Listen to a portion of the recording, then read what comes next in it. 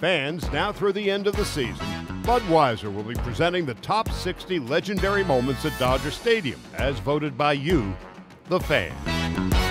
Today, legendary moment number 18. It took eight and a half years for Maury Wills to finally make it to the Dodgers. Why?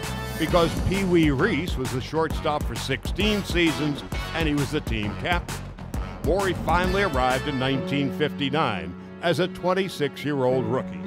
By 1962, Wills had become the National League's most valuable player, becoming one of the most electrifying players of his generation.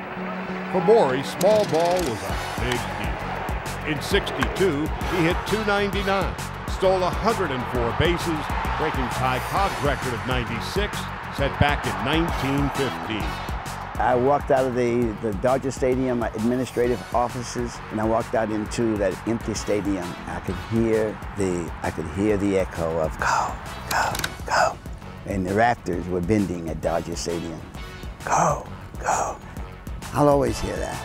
A two time Gold Glove winner who finished his career with 586 stolen bases, 104 of them coming in 1962, Maury Wills legendary moment number 18.